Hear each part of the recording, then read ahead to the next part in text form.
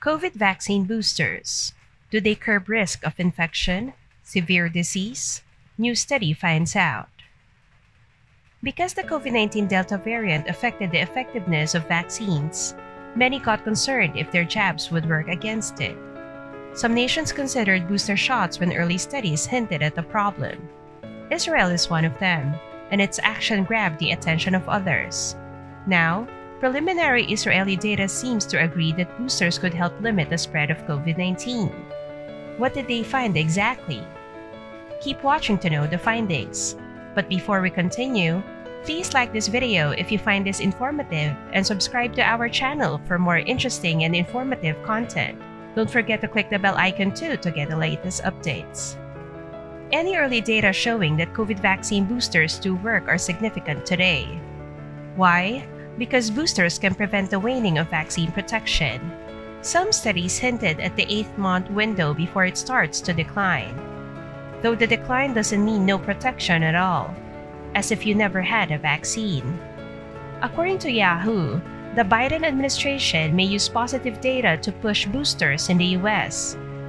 In a preprint uploaded on medRxiv, researchers in Israel determined that adults who received the third Pfizer shot got their infection risk lowered by 11.4 times, 12 or more days after it was given. The risk of severe COVID, meanwhile, dropped by more than 10 times. Researchers noted that these figures are from the real world. Is this study enough?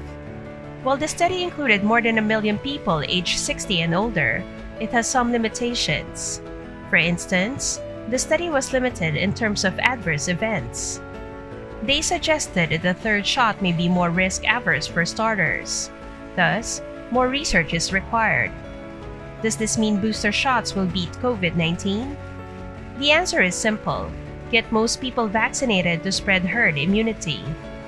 It becomes complicated when you add population groups like children, vaccine resistant people, and the unvaccinated. Don't forget that children are a part of the human population, and there's a lot of them. If you look at the big picture, only a small percentage of the world's population will benefit from boosters. This is because the rest is composed of unvaccinated and partially vaccinated individuals. We need to ramp up the initial series first before doing a massive rollout of boosters. Do you agree with rolling out boosters now? Or do you favor addressing the disparity in vaccine distribution first? Share your thoughts in the comment section. Till our next video, thanks for watching.